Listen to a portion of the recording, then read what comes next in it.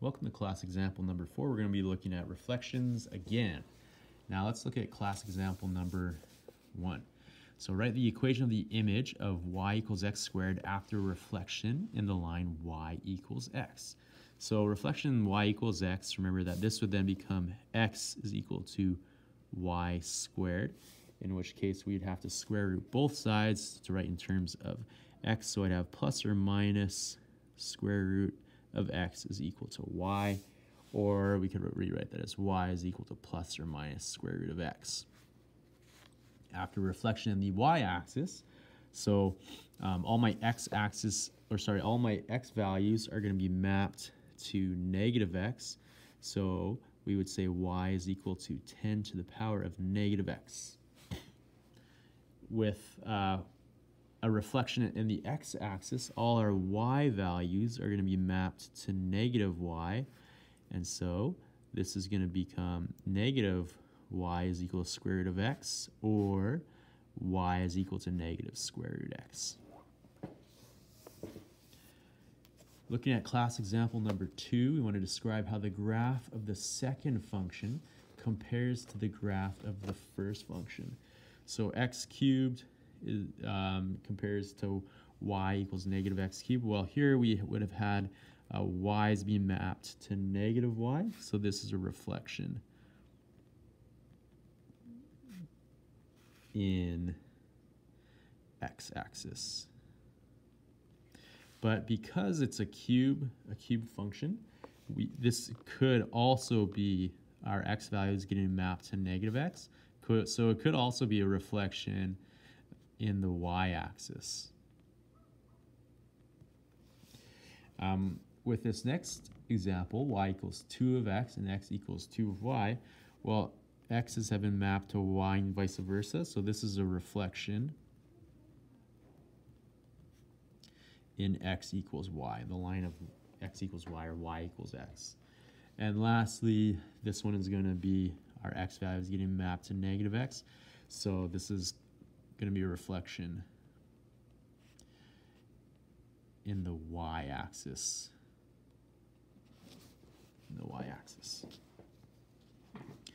So in this next example, I have the graph drawn in the thick line, and that's a transformation of the graph drawn in the thin line. So these are my, this is my original line. We want to write an equation for each graph drawn in the thick line and state whether this graph represents a function. So first of all, it does not represent a function. And we could do our vertical line test where, you know, if, if my function crosses my vertical line in two, two positions vertically, then it's not a function. So there's there should only be, um, for every x value, there should only be one y value.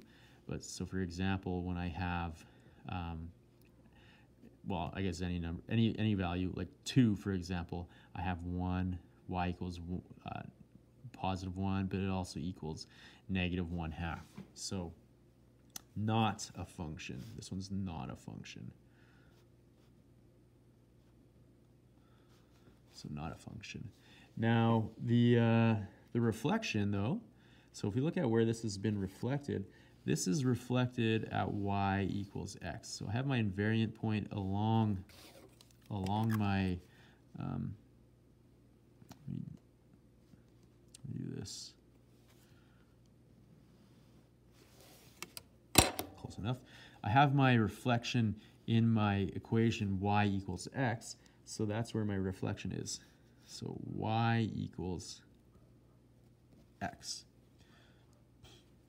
Now in this next example, I have a reflection in, so all these points, if my, my values, so for example, 1, 2, 3 is mapped down to negative 3, that means I have a reflection in the x-axis. So my y values got mapped to negative y values. Um, and so this is a reflection in the x-axis. And this is a function. Is a function.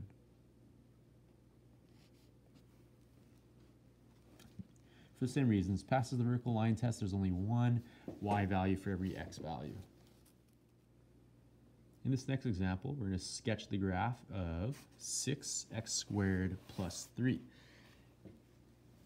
and then we're going to write the equation for all the reflections. So uh, I'm just going to plug this into my, my calculator. So 6 divided by uh, x squared plus 3. And I get some, something weird like that. And so it's at 2, and then it goes something like this. And we want to write the equation for negative f of x. And so here's our, our, our original uh, function. And my new function, or my reflected function, is going to look something like this. Negative 6 over x squared plus 3. So I just put a negative sign in front of my function, f of x. Uh, next, we have y is equal to f of negative x. And so all my x values are going to map to negative x values. So this is a, um, a reflection in the y-axis. And so y is going to equal 6 over negative x squared plus 3, which is just going to be the exact same thing, x squared plus 3. And lastly, we have an inverse function, and so x is equal to 6 over y squared plus 3. But in terms of x, we could say that this is y squared plus 3 if I cross multiply over 6 for x. And then y squared is equal to 6 over x minus 3. And if I take the square root plus or minus square root, sorry, I should say y is equal to plus or minus the square root of 6 over x minus 3. Now we want to um, sketch each graph in B and state whether or not the graph represents a function. Now, if this is my original function, this first one, this is just a reflection in the y-axis, and so this is just going to get reflected down here. And so it's going to look something like this.